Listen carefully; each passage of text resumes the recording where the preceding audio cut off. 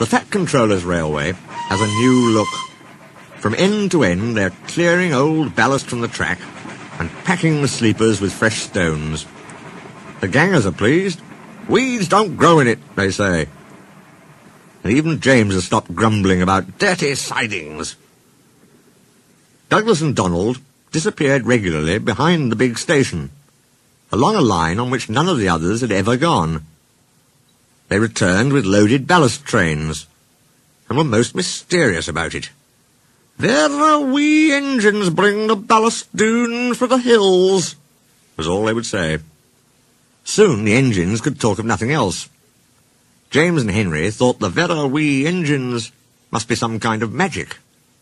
I don't believe it, said Gordon. Donald and Douglas have pulled our wheels before. But Duck wanted to see for himself, so he asked permission to take some trucks. When he arrived, he was told to push them under the chute. This was like a tunnel made of steel girders. On top of it stood some queer-looking trucks. What do you think of our chute? said a voice. Good, isn't it? Duck blinked. Standing beside him was a small green engine. Where did you spring from? asked Duck. I've been here all the time, smiled the small engine.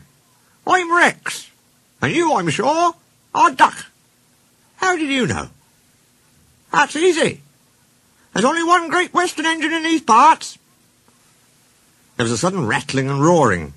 Duck's whole train shuddered. What, what, what was that? he asked, startled. That was our chute.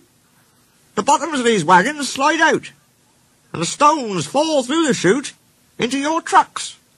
We may be small, but we're quite efficient. Duck puffed away, much impressed. Next time there were three small engines. Rex introduced Duck to Bert and Mike. As you can see, he went on, the small controllers giving us different coats. Silly nonsense, grumbled Mike. I like being blue, protested Bert. It's all right for you, fumed Mike, but not for me. Passengers'll say I look like a pillar box. Shocking, said Rex, and winked at Duck. Consider my feelings. When we were both green, passengers kept calling me Mike. You, you, spluttered Mike. Stow it, you two, said Bert. Ducky went on. Have you seen our coaches? Where are they? asked Duck. Over there, said Bert. But they're truck, I mean, they're not like ours, he finished lamely. Rex smiled. I agree. They are like trucks. But they behave surprisingly well. Says you, put in Mike rudely. They're all right, said Bert, if you treat 'em right. Besides, passengers like 'em. They won't use cupboards on a fine day. It's this scenery, you know, trees, mountains and such. Can't understand it myself. But then passengers are queer. You're right there, said Mike. Give me goods trains every time. Do you, uh, like trucks? Duck was surprised. Not all of 'em, smiled Mike. But our big ballast hoppers are different. They run on bogies as sweetly as any coach. We take 'em to the old mines, fill 'em up, and run 'em down here to the chute.